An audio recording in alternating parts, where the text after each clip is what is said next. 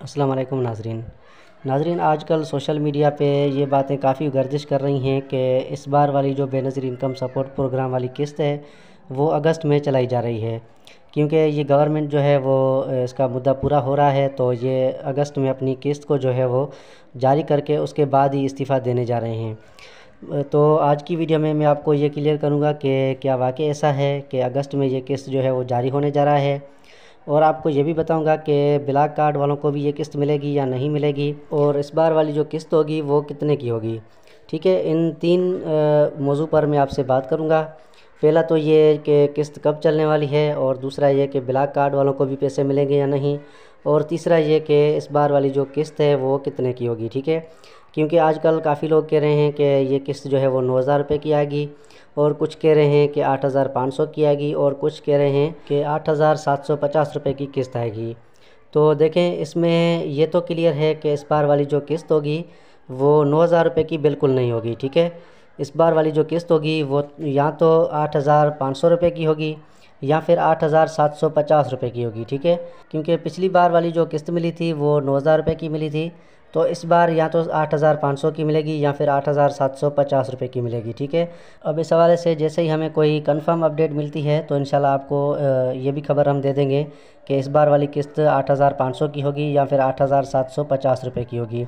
और अब बात कर लेते हैं ब्लैक कार्ड के हवाले से और नायल ख़ानदान के हवाले से कि इस बार वाली किस्त उनको भी मिलेगी या फिर सिर्फ़ उनको मिलेगी जिनको मिलती आ रही है।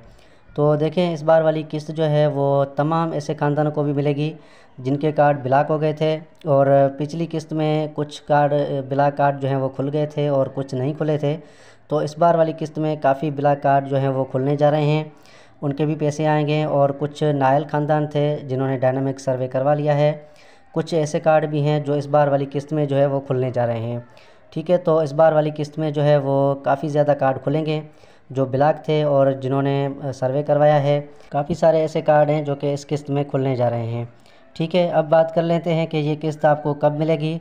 तो देखें, अब ये सोशल मीडिया पे जो बातें चल रही हैं कि अगस्त में ये किस्त जारी होने वाली है तो इस हवाले से कोई भी सरकारी ज़राए से या फिर ऐसी कोई भी अपडेट नहीं आई है कि अगस्त में ये किस्त जो है वो जारी होने वाला है।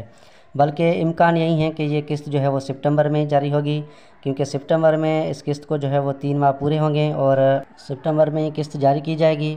ये जो अगस्त वाली बातें हैं, ये बेबुनियाद हैं और कोई भी ऐसे सरकारी ज़रा से मालूम नहीं हुआ है कि ये इस किस्त जो है वो अगस्त में जारी की जाएगी। बल्कि लोग अपनी तरफ़ से ये बातें बना रहे हैं तो इन पर आप जो है वो ध्यान ना दें। जब भी कोई सरकारी ज़रा से ये पता चलेगा कि किस्त कब जारी होने वाली है तो इन हम आपको आगाह कर देंगे, ठीक है? तो उम्मीद करता हूँ आपको ये वीडियो पसंद आई होगी। मिलते हैं किसी और वीडियो में। तब तक के लिए अल्लाह हाफ़